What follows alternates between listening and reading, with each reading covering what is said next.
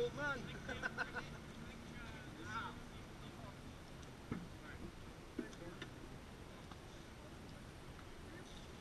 See, I'm trying to signal to you, I'm like, push me for a bit. That's what I was trying to go like,